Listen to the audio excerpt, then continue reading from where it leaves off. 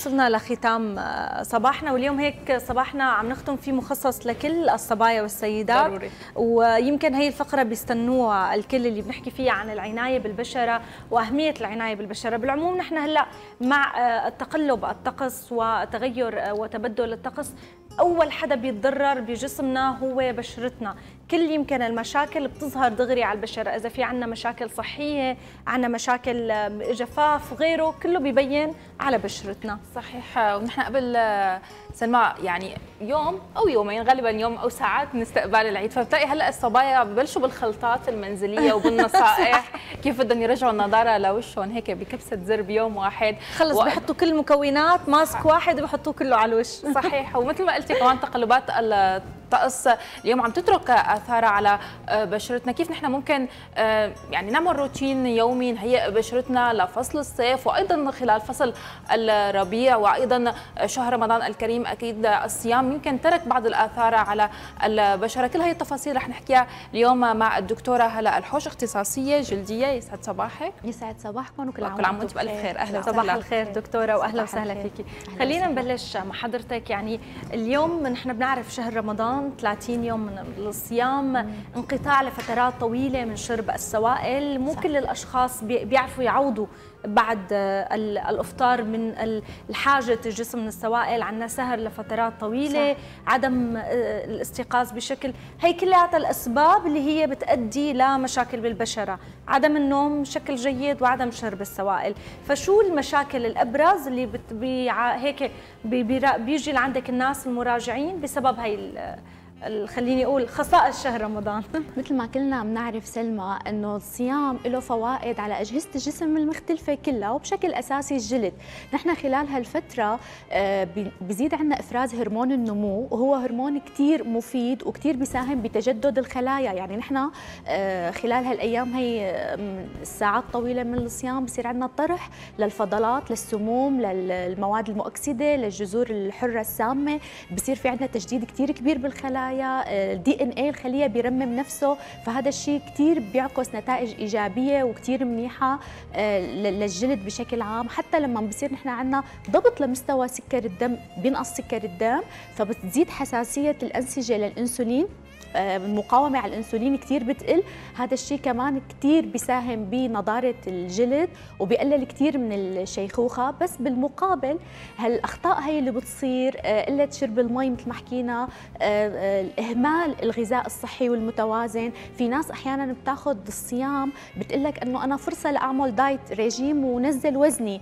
فهن بيعتمدوا بقى على وجبة واحدة وللأسف بتكون كتير غنية بالسكريات بالدهون بالكافيين بالمشروبات اللي كثير فيها سكر وبيهملوا الخضرة الفواكه الأشياء الغنية بالمي بالفيتامينز. فهذا الشيء أكيد رح يعكس نتائج سلبي. سلبية. فبتلاقي مثلا البشرة صارت فيها جفاف أكثر باهتة ما فيها نضارة يعني بتحسيها إنه صارت كامدة أكثر منطقة حول العين هي منطقة جلدة فيها كثير رقيقة وبتبين عليها كثير تأثيرات التبدل الساعة البيولوجية. يعني بنصير بقى نسهر كثير بالليل بننام بالنهار عدد ساعات النوم القليل تلاقيها صار فيها تجاعيد ناعمة هالات سود تنفيخ حتى الجفاف مثلا بتلاقيها صار فيها جفاف تقشر حتى الجسم كله بشكل عام الجلد كله بتلاقيه إنه فعلا فقد هالنضاره والحيوية.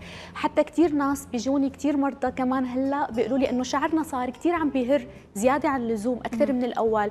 فهو غالبا بيكون مثلا إنه من الأساس في مشكلة قديمة أو في سبب مرضي عوز حديد نقص فيتامين د نقص البي 12 وخلال الصيام مثل ما قلنا هالإهمال الغذاء الصحي المتوازن أو نحن ما عم ناخذ فيتاميناتنا ما عم ناخذ حاجتنا اليومية من هالمعادن من هالفيتامينات الضرورية. فبتلاقي كمان الشعر كثير بيتأثر وكثير بيصيبه تساقط كمان الأظافر. يعني بشكل عام بيترك بعض التأثيرات السلبية. أيضا تقلبات الفصول بتترك أثرها على البشره خصوصا بالطقس الحالي. يعني نحن بنشوف الصبح شيء والمساء بيكون شيء فخلينا نحكي عن أبرز يعني المشاكل اللي عم تعاني منها البشرة بهذا الوقت. هلأ مع بداية فصل الربيع خلينا نقول والنقل النوعية بالجو وتبدل درجة الحرارة أكيد هالتبدلات هي بتترك آثارها على الجلد بشكل كثير واضح. هلأ صارت الشمس حد أكثر من الأول وخاصة بساعات الذروة يعني من العشرة الصبح للأربعة المساء. بتبلش بقى تعطي هالتأثيرات السلبية يعني للتعرض للشمس لساعات طويلة وخاصة الناس اللي شغلهم كل الوقت برا يعني. فالشمس بتفاقم أساسا الأمراض اللي هي موجودة قبل. يعني ممكن إنه تفاقم لنا حب الشباب الإكزيما. هلأ كمان كثير وقت إنه تصير عندنا الإكزيما الضيائية كثير شائعة خلال فصل الربيع. حتى مشاكل الحساسيه كلها اللي بتصير الحساسية الصدرية الربو الأنف التهاب حواف الأجفان كلها مشاكل الحساسية الربيع كلها هي كمان بتتفاقم هلأ على تبدل الطقس. مشاكل الشمس كمان اللي أكثر شيء ممكن إنه تتركها على الجلد غير إنه هي بتفاقم لنا الأمراض الموجودة قبل مثل حب الشباب والإكزيما هي بحد ذاتها بتأهب لتصبغات أكثر مثل النمش الكلف آه، توسع مسامات آه، جفاف بالبشرة حروق الشمس التجاعيد الناعمة هي طبعا اللي بتظهر على المدى البعيد. فبس أكثر شيء الشمس بتترك لنا إياه آه، هو التصبغات بشكل أساسي. كثير بيشتكوا المرضى بهالفترة إنه نحن النمش صار أوضح الكلف صار أوضح البقع صحيح. تباين اللون تفاوت اللون. آه، خاصة كمان الناس اللي بيكونوا آه، محجبين أو شيء فدائما بتلاقي في فرق صار بين المنطقة المغطاية والمنطقة اللي عم تتعرض بشكل مستمر لأشعة الشمس. صحيح. طيب دكتورة هلا بما أنه حكينا عن بعض المشاكل خلينا نحكي عن شوي من الحلول. في حلول موجودة بإيدين الكل بشويه روتين يومي بعض الخطوات البسيطة اللي بتنصحي فيها الكريمات الأساسية اللي لازم تكون موجودة عند كل صبية بهذا الوقت وخصوصا بهي التقلبات. مثل ما بنقول الواقي الشمسي مثلا خط طبعا. أحمر ما لازم حدا يتركه سواء كان بشرته سمراء أو بشرته بيضاء. لأنه في ناس بتقول إذا بشرتي سمراء معناته ما في داعي أحط واقي شمسي وهذا خطأ شائع. خلينا نحكي عن هي الروتين اليومي لازم أعمله لحتى حافظ على آه، صحة البشرة. هلأ الروتين اليومي ال skin care اللي لازم كل سيدة تستخدمهم آه، بفصل الشتاء نحن دائما بنقول إنه في شيء لازم يكون مختلف عن بداية الصيف آه، أو ال أو ال هلأ يعني الربيع أو تبدل الطقس أو صارت الشمس حتى شوي لأنه نحن خلال فصل الشتاء بتكون المشكلة أكثر هي مشكلة الجفاف. مم. فنحن دائما كنا نركز إنه كتروا كثير من الكريمات الترطيب. يعني إذا كنت عم تحطيه مرة لأ بالشتاء أو خلال مثلا الصيام أو لما الجسم أو الطقس بيساهم بتجفاف أكثر إنه كتري الكريمات يعني كتري عدد مرات الاستخدام خلينا نقول. يعني حطي مثلا صبح مساء آه، استخدمي سيرومات أكثر السيرومات الغنية بال hyaluronic acid ال hyaluronic acid من أهم المرطبات. كثير معروف إنه هو كثير بيساهم بجذب المي للبشرة. آه، حتى في عندنا نحن سيرومات أو كريمات فيها مشاركة بين ال hyaluronic acid مثلا مع ال B5 آه، مع الكولاجين آه، مع الفيتامين C هلأ كانت كمان الصبية بالشتاء عم تستخدم كثير أكيد مقشرات بكل أشكالها سواء كان بالغسول أو بال tonic أو حتى هي المسا عم تستخدم تقشير أحماض فواكه ريتينول. هلأ نحن لما نحن بننتقل على الصيف هون لا لازم نحن كثير نخفف من المقشرات سواء الموجودة بالغسولات أو حتى بالكريمات. آه، فينا نحن نخفف من تواتر استخدامها يعني نخليها مثلا آه، كل أسبوع برا آه، أو حتى كل أسبوعين مرة هذا الشيء بيرجع لكل سيدة شو المشكلة اللي هي عم تعالجها أو هي كانت عم تستخدم المقشر بس مشان النضارة أو توحيد لون أو لتتخلص من الخلايا الميتة. كمان نحن عندنا مثل ما تفضلتي وحكيتي سلمى هلأ كمان على الصيف أكيد الترطيب ما بنستغني عنه.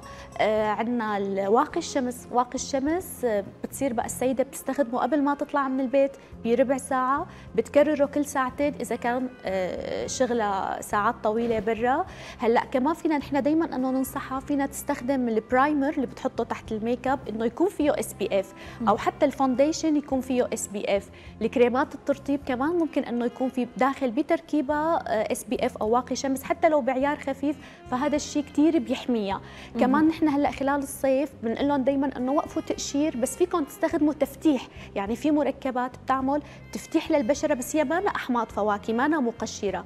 مثل عندنا ال arbutin عندنا الفيتامين C هن مضادات أكسدة كثير مهمة بيفتحوا لون البشرة بيعملوا توحيد للون وبيساهموا بتكوين كولاجين وإلاستين فكتير بيعطوا نضارة وبيقاوموا الشيخوخة للمدى البعيد والصبية كثير بتلاقي عليهم فائدة. فنحن عندنا رينج كثير كثير واسع من الكريمات اللي بتقدر السيدة إنه تستخدمهم خلال هالفترة بس كثير بنركز على الترطيب وواقيات الشمس نخفف كثير من المقشرات وفينا تستخدم ماسكات ولو مرة بالأسبوع سواء كانوا جاهزين أو حتى هي فينا بالبيت تعمل من الأشياء الموجودة بالبيت وتقدر تعمل الشيء اللي بيناسب بشرتها طيب خلينا نعطي هيك أمثلة عن الشيء اللي موجود بالبيت شو ممكن تعمل هي؟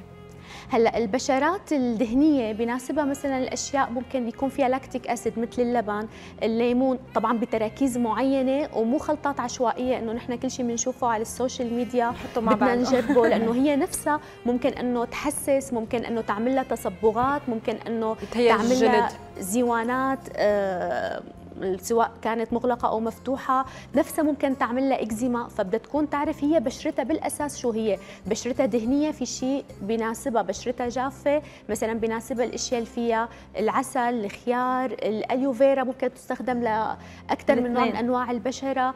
آه، الأفوكا يعني فينا تستخدم من الأشياء الموجودة بالبيت. بس مثل ما حكينا بتركيزه معينة ماء الورد كثير ظريف وكثير بيعطي ترطيب وما له أي side effect حتى فينا تخلي البخاخ معه وخاصه هلا. يعني كل ما مثلا الواحد كان مشوب بدل ما يروح يغسل وشه بمي ينشف بشرته أكثر لا فينا تضل عم تبخ منه للبخاخ ماء الورد. آه كثير بيسكر المسام وكثير بيعطي نضارة وكثير بيعطي ترطيب. فمثل ما حكينا إنه كل نوع بشرة آه، له كريمات ممكن إنها تناسبه مشان هي ما تفوت بالمشاكل والاختلاطات. اللي ممكن أنه تصير معها على المدى البعيد وخاصة مشكلة التصبغات لأنه علاجها بصير كثير صعب وكثير مكلف وكثير بده وقت.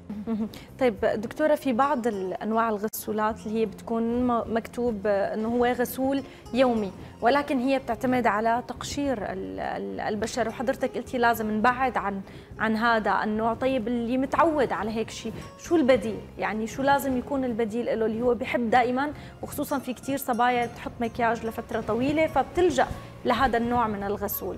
هلأ كل حدا مثل ما حكيتي سلمى بيحط make up كل يوم يعني مطلوب من شغله إنه كل يوم يحط make up هلأ أهم خطوة إنه نحن ننظف المكياج كثير منيح.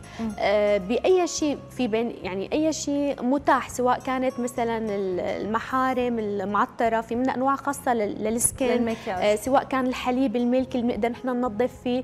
بس حتى هدول الأشياء اللي نحن بننظف فيهم وشنا أو مزيلات ال make up كل نوع بشرة له شيء بيناسبه أكثر آه حتى الغسولات هلأ مو كلها بيكون داخلها هلأ في منها بيكون فيها salicylic acid مثلا بتناسب الناس اللي كثير بشرتهم دهنيه هدول حتى بفصل الصيف لازم بقى يخففوا من الإفرازات الدهنية هي وينظفوها مزبوط مشان ما تسد المسام وتعمل لهم مشاكل أو تعمل لهم تفاقم لهم مثلا حب الشباب اللي موجود عندهم.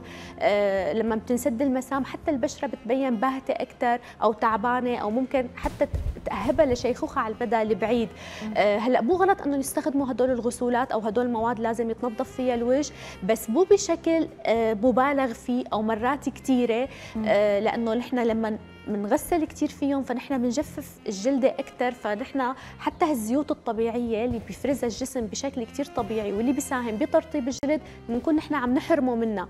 آه ما عليه فينا مثلا هي تغسل وشها آه مرة باليوم. هلأ اللي ما بيحطوا make up كل يوم فينهم يغسلوا بس بالمي يعني مو شرط هن يستخدموا غسولات أو فينهم يستخدموا مثلا الغسول يومين يعني كل يومين والثالث وخاصة إذا كانت بشرتهم جافة. كل ما خففنا نحن من هالمواد كل ما كان أحسن. حتى هلأ في نحن عندنا صيحة جديدة بطب الجلد التجميلي اللي هي صيام الجلد. مو الصيام عن الأكل والشرب هو صيام الجلد. إنه نحن نمتنع إنه عن أي كريمات أو عن مستحضرات التجميل الميك أب كريمات العناية من 7 ل 14 يوم.